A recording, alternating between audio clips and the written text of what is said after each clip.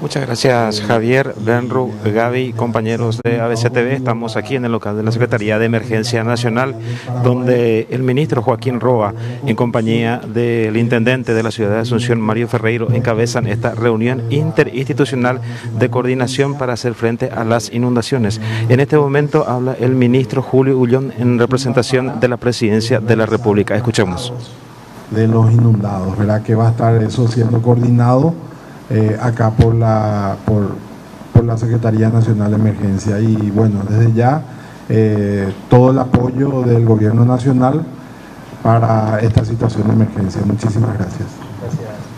Lo que manifestaba el ministro Julio Ullón en representación de la presidencia, ahora habla el ministro Dani Durán muy importante para nosotros todos estos datos que vamos a poder recabar y ya lo venimos trabajando de antes, dando una esperanza en cuanto a un trabajo tanto en el Bañado Sur como ya llevamos adelante los proyectos, como un nuevo proyecto en el Bañado Norte, en donde vamos a estar implementando en conjunto con la Municipalidad de la capital eh, la proyección de 3.000 nuevas viviendas en este periodo del 2018-2023. Así que colaborando muy de cerca en todo lo que sea para ayudar en esta emergencia nacional.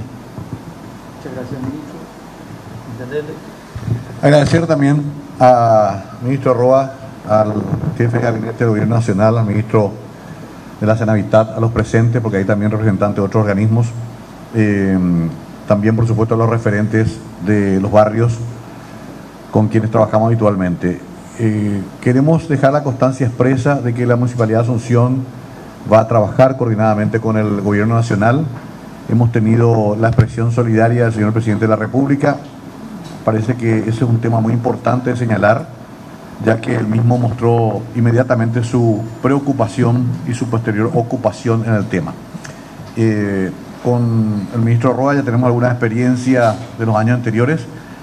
Eh, sabemos que la ciudadanía también eh, genera una tensión social importante porque ve ocupados algunos de sus espacios públicos, lo cual no es lo ideal, pero siempre explicamos que la atención del ser humano es lo más importante primero y después ir viendo los eh, planes a mediano y largo plazo. En ese sentido también me congratulo que el ministro de la Senavitad nos confirme esto que venimos hablando ya eh, varias semanas atrás, hay un desarrollo previsto para el Bañado Norte y otro para el Bañado Tacumbú que también está bastante avanzado.